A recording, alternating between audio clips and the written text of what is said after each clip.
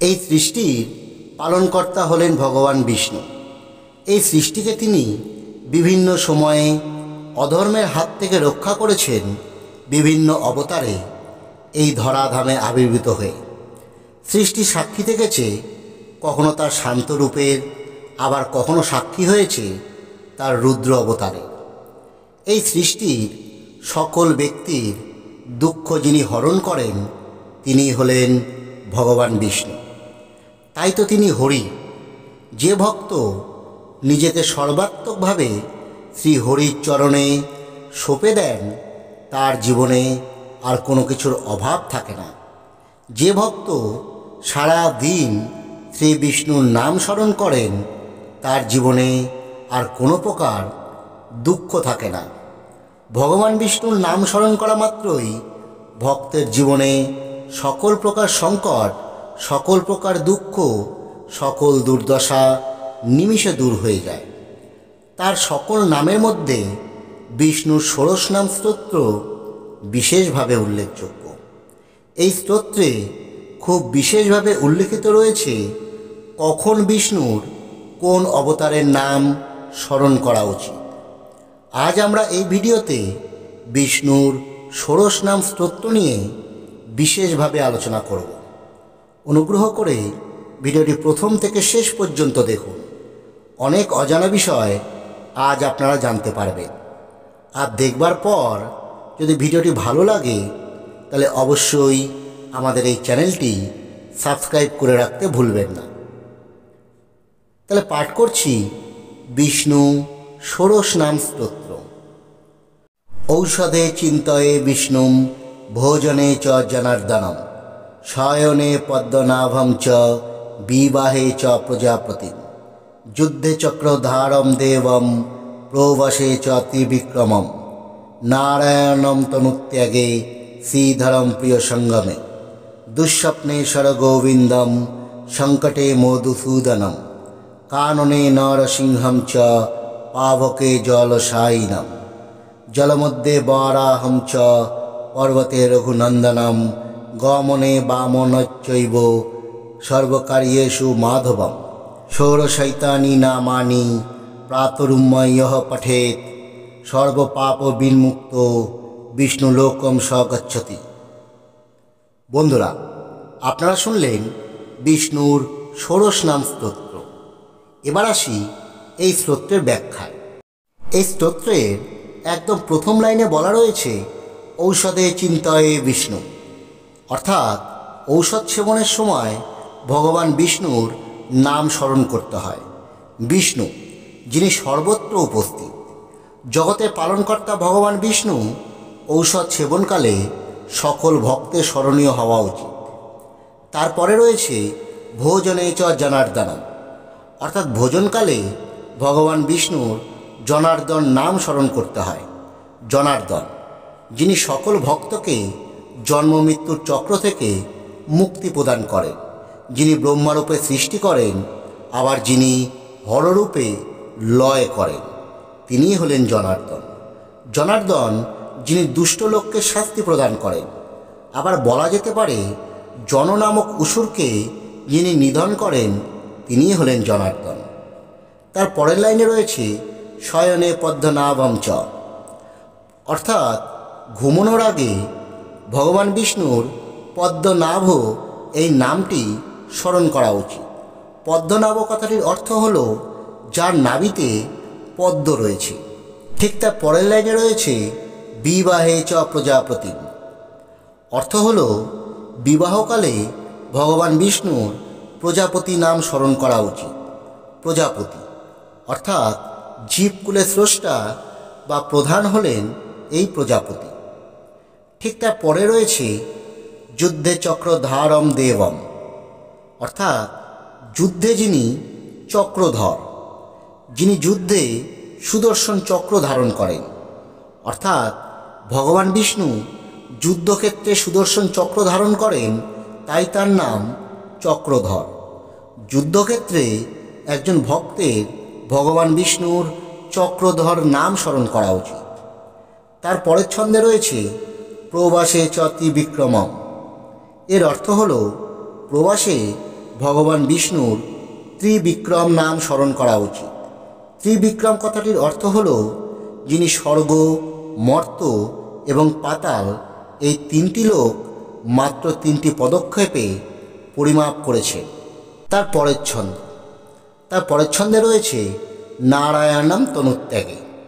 তনুত্যাগে অর্থাৎ দেহত্যাগ করবার সময় ভগবান বিষ্ণুর নারায়ণ নাম স্মরণ করা উচিত। নারায়ণ, অর্থাৎ যিনি জলের ওপর শায়িত রয়েছেন, যিনি সমস্ত কিছুতেই নিবাস করে।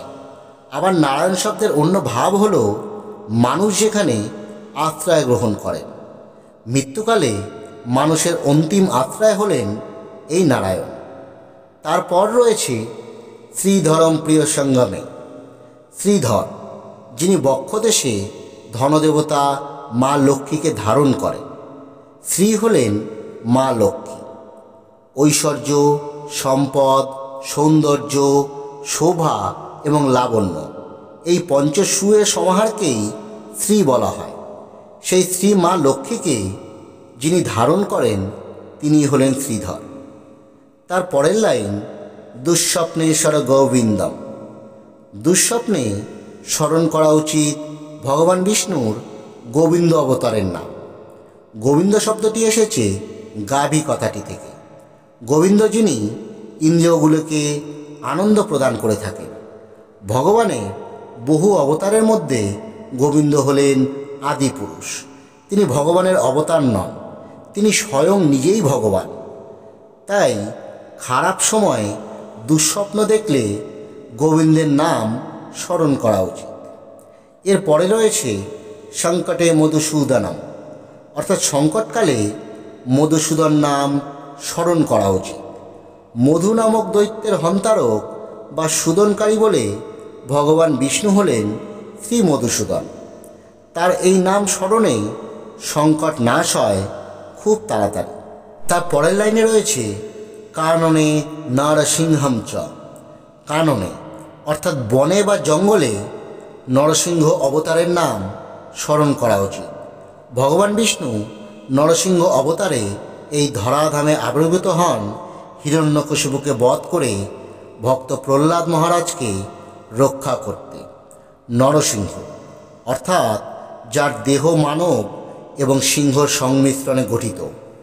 তারপরে পাবকে জলসায়ী নাম, পাবক। পাবক কথাটির অর্থ হল আগুন বা অগ্নি। আগুন বা অগ্নিতে অবস্থানকালে বা আগুন বা অগ্নিতে সংকটকালে ভগবান বিষ্ণুর এই জলসায়ী নাম, এই নামটি স্মরণ করা উচিত। জলসায়ী নাম, অর্থাৎ জলে যিনি শয়ন করে রয়েছে তারপরে রয়েছে জল মধ্যে বরাহম অর্থাৎ জলমধ্যে বরাহরূপের স্মরণ করা উচিত একজন ভক্তের হিরণ্যক্ষ নামক রাক্ষসের হাত থেকে ভূদেবীকে উদ্ধার করতে ভগবান বিষ্ণু বন্য শুকুরের অবতারে এই ধরাধামে আবির্ভূত হন। ভগবান বিষ্ণু বরাহ অবতারে এক বছর ধরে হিরণ্যাক্ষের সঙ্গে যুদ্ধ করে তাকে পরাজিত এবং নিহত করে এই সৃষ্টিকে মহাজাগতিক সমুদ্রের তলা থেকে উদ্ধার করে এবং ভূদেবীকে পত্নী হিসেবে গ্রহণ করে। তাই জলমধ্যে তার এই অবতারের নাম স্মরণ করা উচিত। এর পরের লাইনে রয়েছে পর্বতে রঘুনন্দনম। পর্বতে গমনকালে রঘুকুলপতি রঘুনন্দন রামচন্দ্রকে স্মরণ করা উচিত। তাই পর্বতে গমনকালে স্মরণীয় নাম হল রঘুনন্দন বা রাম। এর পরে রয়েছে গমনে বামনৈচৈব কোথাও গমনকালে ভগবান বিষ্ণুর বামন অবতারের নাম স্মরণ করা উচিত। এর পরে রয়েছে সর্বকার্যেষু মাধবম। অর্থাৎ সর্বকার্যে রয়েছে মাধব অবতারের নাম। তাই সকল কার্যে মাধব নাম স্মরণীয় এবং বন্দনীয়।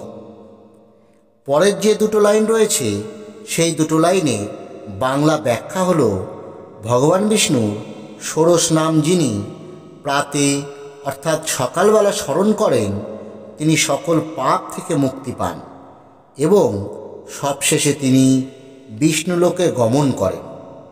বন্ধুরা, আপনারা জানলেন ভগবান বিষ্ণুর কোন অবস্থায় কোন অবতারের নাম স্মরণ করা উচিত।